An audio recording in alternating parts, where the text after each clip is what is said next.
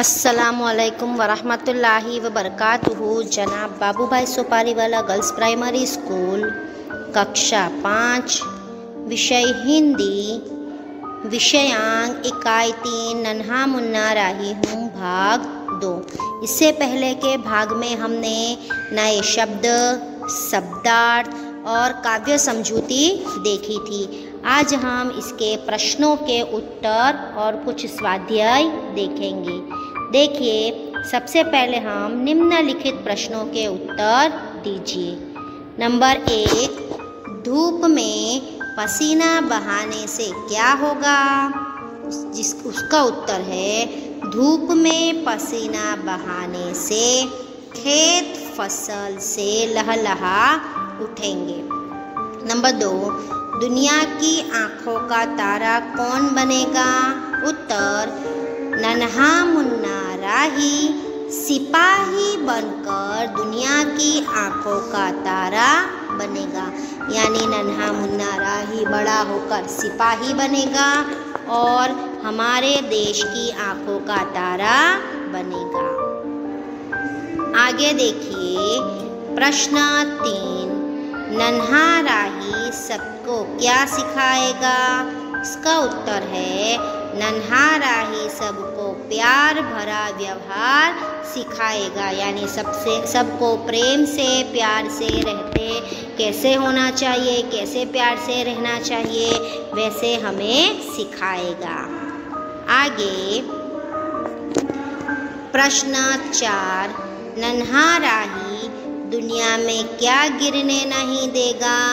इसका उत्तर है नन्हा राही दुनिया में बम गिरने नहीं देगा। नन्हा राही देश की सेवा करेगा और दुनिया में कहीं बम गिरने नहीं देगा। प्रश्न पाँच, देश का सिपाही कौन है? इसका उत्तर है, नन्हा बालक देश का सिपाही है। यानी कि अभी जो नन्हा बालक है, वो बड़ा होके देश के लिए, देश की रक्षा के लिए सिपाही बनेगा और देश की रक्षा करेगा। आगे देखिए। प्रश्न छ, नन्हा राही रास्ते पर कैसे चलेगा? जिसका उत्तर है, नन्हा राही रास्ते पर निडर होकर सीना तान कर चलेगा। यानी नन्हा राही किसी से भयभीत न होकर बिल्कुल निडरता से सीना तान कर अपने देशवासियों की रक्षा करेगा और सीना तान कर निडर होकर चलेगा। आगे देखिए, हमने अभी ये जो भी प्रश्नों के उत्तर देखे हैं, यह सभी प्रश्नों के छो छः प्रश्नों के उत्तर सुंदर स्वच्छ अक्षर में, जोड़ने का ध्यान रखते हुए अपनी हिंदी की कापी में एक बार लिखना है। सबसे पहले आपने क्या लिखा है? नए शब्द लिखे हैं, उसके बाद शब्दार्थ लिखे, और उसके बाद हमने एक बार काव्य लिखा था। उसके बाद आपको यह प्रश्नों के उत्तर एक बार सुंदर स्वच्छ अक्षर में अपनी हिंदी की कापी में लिखना है। अब हम आगे देखेंगे। निम्नलिखित शब्दों का विलोम, यानी विरोधार्थी शब्द ढूंढकर लिखिए। यानी कि विलोम शब्द को हम विरोधार्थी शब्द भी कह सकते हैं। देखिए, सबसे पहले है आगे, जिसका विरोधी शब्द होता है पीछे। उसके बाद दाया दाया का विरोधी शब्द बाया। धरती धरती का विरोधी यानी विलोम शब्द क्या होता है? आकाश। उसके बाद बड़ा बड़ा का विरोधी यानी विलोम शब्द छोटा। धूप। धूप का विरोधी यानी विलोम शब्द क्या होता है? छाव ऊँचा। ऊँचा का विरोधी शब्द नीचा। अब हमें यह विरोधार्थी विलोम शब्द का उपयोग करके इसका वाक्य में प्रयोग करना है। उससे पहले आपको यह सभी विलोम शब्द सुंदर स्वच्छ अक्षर में जोड़ने का ध्यान रखते हुए अपनी हिंदी की कापी में दो बार लिखना है। कितनी बार लिखना है? दो बार लिखना है। अब हम यह शब्दों का यानी कि विलोम शब्द का उपयोग करके, सभी विलोम शब्द का उपयोग करके उसका हम वाक्य प्रयोग करेंगे। देखिए ध्यान दीजिए। विलोम शब्द आधारित वाक्य बनाइए। देखिए, सबसे पहले है, सब बच्चे आगे चले जा रहे थे। दूसरा वाक्य, कोई भी बच्चा पीछे नहीं रहना चाहता। इसलिए आप देखिए, यहाँ पे कौन सा विलोम शब्द है?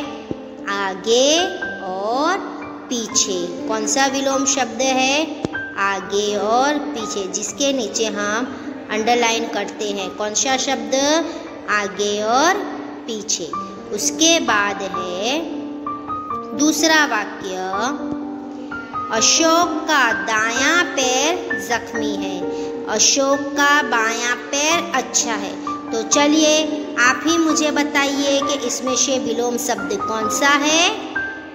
बताइए, बिल्कुल सही। यहाँ पे विलोम शब्द दाया और बाया है। कौन सा है? दाया और बाया।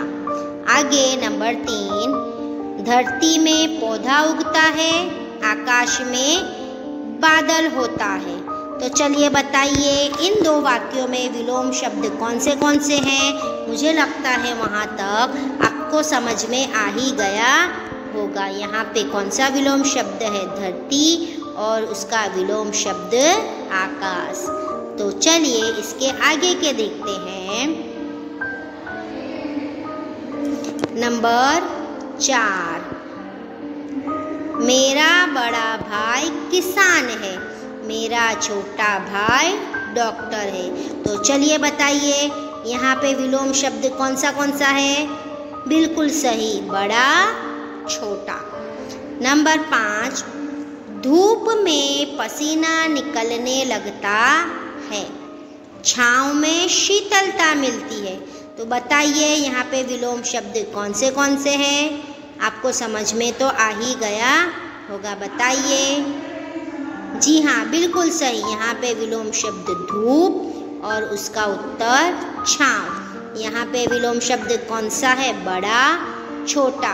यहाँ पे धूप, छाँव। आगे देखिए, नंबर छ नारियल का पेड़ ऊँचा होता है, तुलसी का पेड़ नीचा होता है। तो बताइए, इसमें से विलोम शब्द कौन से कौन से हैं? ऊँचा और नीचा। कौन सा? ऊँचा और नीचा। देखिए, हम फिर से एक बार देखते हैं। देखिए, यहाँ पे कौन सा है विलोम शब्द? बड़ा और छोटा।